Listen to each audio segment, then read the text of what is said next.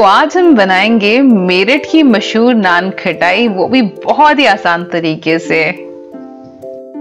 Hello guys hello guys food for foodies में आपका स्वागत है। मैं हृतिका और ये है सार्थक। और आज हम आपके लिए लेके आए हैं बहुत ही टेस्टी नान नान खटाई। खटाई। तो लास्ट वीक हमने लिया था एक छोटा सा ब्रेक और उसमें बनाई थी नान खटाई। बहुत ही बढ़िया नान खटाई बनी थी। उस समय हमने शूट नहीं किया था। हमें सिर्फ़ ये था कि चलो कुछ ब्रेक है कुछ अच्छा सा बनाते हैं।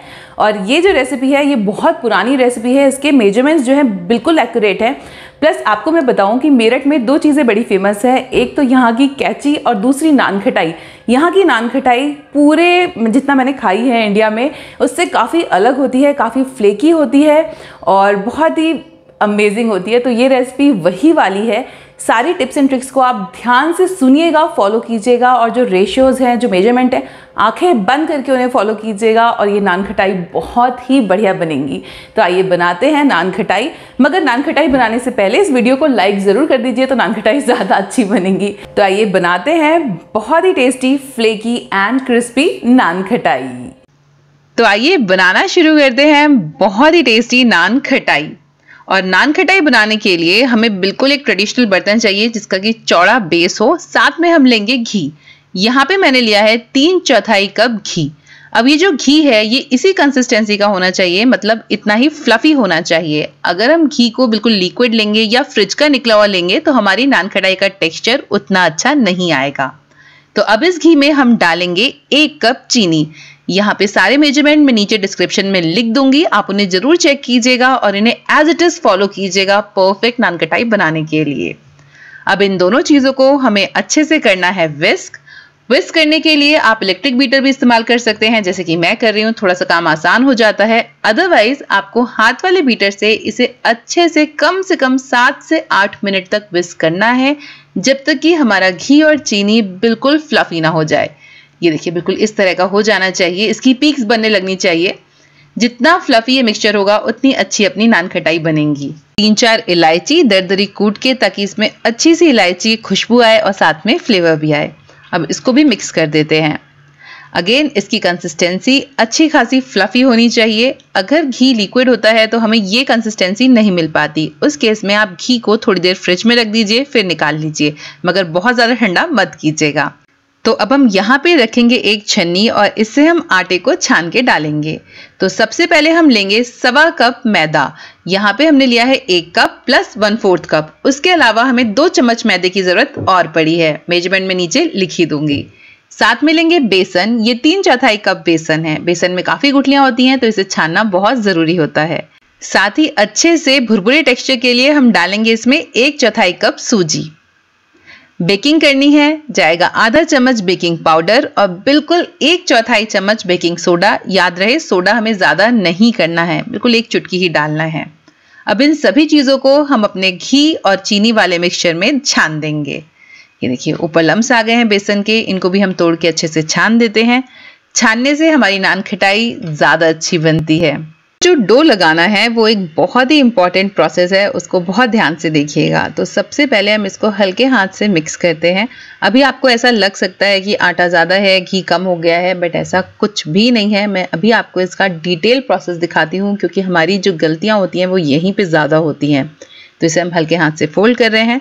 नान खटाई का डो लगाने के लिए आपको आपका हाथ यूज़ करना ही पड़ेगा, क्योंकि जो हाथ की हीट होती है, उसी के सहारे से ये आटा लगेगा। घी हल्का हल्का पिघलेगा और ये प्रॉपर चिकना आटा लगेगा। अब यहाँ पे मैं इसे मिक्स करने की कोशिश कर रही हूँ। ये अभी आप देखेंगे कि काफ़ी क्रमली लग रहा है। इस पोजीशन पे अगर आप कुछ ऐड करना चाहते हैं तो वो आधा एक चम्मच घी हो सकता है। दूध या पानी यहाँ पे बिल्कुल भी नहीं डालना है। तो अब मैं इसको ट्रांसफ़र कर लेती हूँ एक परात में और अभी ये मैंने बिल्कुल अनकट बनाया है, आप इसे ध्यान से देखिएगा। इसको हम हल्के हल्के से रोल करेंगे। यहाँ पे कुछ भी ऐड नहीं करना है और अभी आप देख सकते हैं कि इसकी जो कंसिस्टेंसी है वो काफ़ी क्रमली लग रही है। ऐसा लग रहा है कि इसका डो लगेगा कैसे? बट लगेगा। इसको बस हमें धीरे धीरे चलाते रहना है। इसीलिए हमें चौड़े बेस का बर्तन चाहिए होता है। कोई भी फैंसी डोंगों में नान खटाई का डो ठीक से नहीं लगता है तो इसको आप परात में बनाइए या किसी भगौने में बनाइए तो ज़्यादा अच्छा है। और देखिए चलाते चलाते इस डो पे घी की चिकनाई आने लगी है और ये पूरा का पूरा डो ऐसे ही बनने लगा है। जनरली होता यही है कि हम यहीं पे होपलेस हो जाते हैं और दूध वगैरह डाल देते हैं। उससे हमारी जो नान खटाई है, वो बहुत ज़्यादा कड़ी हो जाती है। कई बार उसका टेक्सचर डिफरेंट हो जाता है। ज़रूरत पड़े भी तो आप सिर्फ़ घी ही ऐड कीजिए और कुछ भी नहीं। वैसे पेशेंस से बनाएँगे तो उसकी भी ज़रूरत नहीं पड़ेगी। देखिए, कितना बढ़िया एकदम चिकना डो हमारा लग के तैयार हो गया है और अब हम इसकी नान खटाई बनाएँगे। मेरठ में कई तरह की नान खटाई मिलती हैं। जो पहली दिखा रही हूँ मैं, वो कॉमन नान खटाई है, पिस्ते वाली बट यहाँ पे बीज वाली नान खटाई मिलती है, काजू वाली नान खटाई मिलती है, वो बहुत अच्छी बनती है। तो यहाँ पे एक बेकिंग ट्रे को मैंने बेकिंग पेपर से लाइंड अप कर रखा है ऑलरेडी और इसके ऊपर हम रखेंगे नान खटाइयाँ छोटी छोटी बना बना के। ये एक जनरल साइज़ है बट यहाँ पे जो मिलती हैं, वो काफ़ी बड़ी बड़ी होती हैं, वो भी हम आगे बनाएँगे। ये देखिए, एकदम चिकने गोले आने चाहिए, कोई भी क्रैक नहीं होना चाहिए इन पे। इन पे क्रैक आने की एक स्पेशल टिप है, वो मैं भी आपको दूँगी। तो यहाँ हमने थोड़े से पिस्ते लगा दिए हैं। ये बिल्कुल क्लासिक नान खटाई है, जैसी हर जगह मिलती हैं। ये देखिए, पिस्ते का फ्लेवर बहुत ही अच्छा आता है, इलायची के साथ में। अब इस ट्रे को हम 20 मिनट के लिए रख देंगे फ्रिज के अंदर। ये स्टेप बहुत इंपॉर्टेंट है क्रैक्स लाने के लिए। तो अब हम बनाते हैं मेरठ वाली नान खटाई। इसके लिए जो पेड़ा बनाना है, वो बनाना है थोड़ा सा बड़ा। तो यहाँ पे हम थोड़ा सा डो लेंगे और इसको बिल्कुल लड्डू की तरह से पहले शेप कर लेंगे। ये देखिए। और फिर हम हथेली के बीच में चलाते हुए इसे प्रॉपर चिकना बॉल बना देंगे। नान खटाई जब हम फ्रिज में रखेंगे तो बिल्कुल चिकनी होनी चाहिए, उससे जो क्रैक्स हैं वो ज़्यादा अच्छे आते हैं। तो ये देखिए, एकदम अच्छा सा पेड़ा बनाया हमने और बेकिंग ट्रे के ऊपर रख दिया। इस बेकिंग ट्रे में मेरठ वाली सिर्फ़ नौ ही बन पाएँगी। तो यहाँ पे ये हमारी लाइन तैयार है। अब हम इसको हल्का सा दूध से ब्रश करेंगे। इससे नान खटाई के ऊपर का कलर ज़्यादा अच्छा आएगा। हालाँकि मैंने बहुत ही हल्का सा ब्रश किया है क्योंकि हमें वही लाइट पेल कलर चाहिए। तो ये देखिए, इसे अच्छे से हम ब्रश कर लेंगे। और अब हम इसके ऊपर लगाएँगे बीज।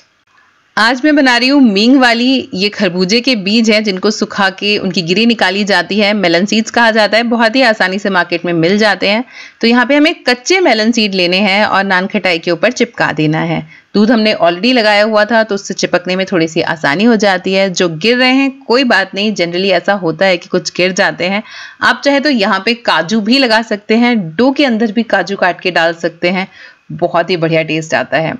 तो ये नान खटाई भी रेडी है और इनको डालते हैं हम फ्रिज में और जो फ्रिज वाली है, उनको डालते हैं अवन के अंदर। अवन को हमने प्रीहीट किया हुआ है 180 डिग्री सेल्सियस पे और इसको हम सिर्फ़ 18 मिनट के लिए बेक करेंगे।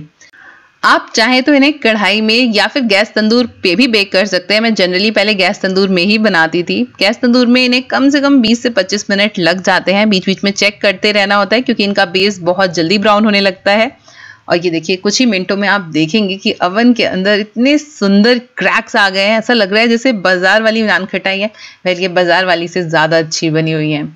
तो अब पेश है बहुत ही टेस्टी नान खटाई। कैसी लगी आपको ये रेसिपी प्लीज़ मुझे कमेंट करना बिल्कुल ना भूलें। और नेक्स्ट बैच आ गया हमारा जो मेरठ वाला है। एकदम बड़ी बड़ी एकदम बढ़िया गोल्डन बीजों के साथ में। तो यहाँ पे मेरी सारी नान खटाइयाँ बनके तैयार हो गई हैं। और अब हम इन नान खटाइयों को कम से कम 15 से 20 मिनट के लिए ठंडा होने देंगे। यहाँ पे मैं आपको एक छोटी सी बात बताना चाहती हूँ। ये हमारा नॉन स्टिक वाला बेस है तो ये हल्का सा कम ब्राउन है। और अगर हम इसको एल्युमिनियम वाले से कंपेयर करें तो एल्युमिनियम वाला जो होता है, वो ज़्यादा ब्राउन होता है। दैट टू बेकिंग पेपर लगा हुआ है। इस वजह से ये इतना ब्राउन है। अदरवाइज़ मैं अभी आपको तीसरा बैच दिखाती हूँ, जो मैंने ऐसे ही रख दिया था बिना बेकिंग पेपर लगाए। ऐसे भी रखा जा सकता है, इसका मतलब बेकिंग पेपर बिल्कुल ज़रूरी नहीं है नान कटाई बनाने के लिए। तो यहाँ पे देखिए, ये थोड़ा सा ज़्यादा ब्राउन है। इसको मैंने डायरेक्टली इसी एल्यूमिनियम मोल्ड पे रख के पकाया है। बट सारी बहुत ही बढ़िया बनी है। जब भी हमारे किचन में ऐसा कुछ बनता है तो यहाँ पे हम पहले निकाल देते हैं थोड़ा सा प्रसाद के लिए और उसके बाद मैं आपको इसका टेक्सचर दिखाती हूँ। गैस ये देखिए, हल्का हाथ लगाते ही जाएगी टूट और इसका टेक्सचर अंदर से बहुत ही फ्लेकी बहुत ही बढ़िया है और अब बारी है टेस्टिंग की। सो so गैस ये थी हमारी नान खटाई की रेसिपी एंड ट्रस्ट मी बहुत ही फ्लेकी बहुत ही टेस्टी बनती है और हम आपके सामने टेस्ट करके भी दिखाते हैं। uh, सार्थक तुम टेस्ट करोगे? हाँ। हाँ? सो गैस ये मोटी वाली छोटी वाली। छोटी वाली। ये छोटी वाली है ये सार्थक के लिए मैं दूसरी वाली लूँगी। आ तुम्हारे फ्रंट टीथ कब आएँगे? एंड ये देखिए ये देखिए इसका टेक्सचर बहुत ही बढ़िया ये लो। मैं करूँ? Yummy it's very tasty and seriously से तो बनाना ही पड़ेगा। और ये वाली है, वो बीज वाली। ये भी इक्वली टेस्टी होती है।